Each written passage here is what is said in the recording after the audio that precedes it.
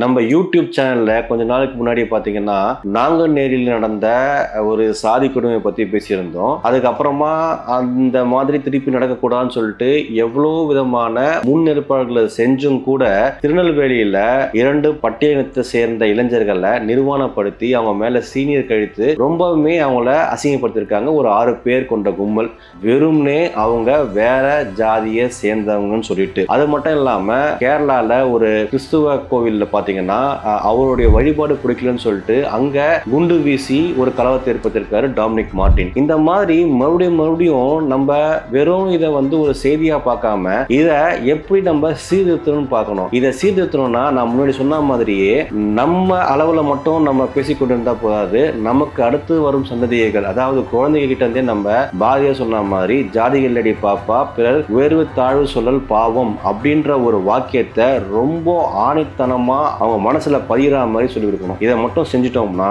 அடுத்து வரும் சந்ததியினராவது ஜாதி மத பேதம் எதுவும் இல்லாமல் அனைவரும் சகோதரத்துவத்தோடு மனிதத்துவத்தோடு வாழ கற்றுக்கொள்வார்கள்.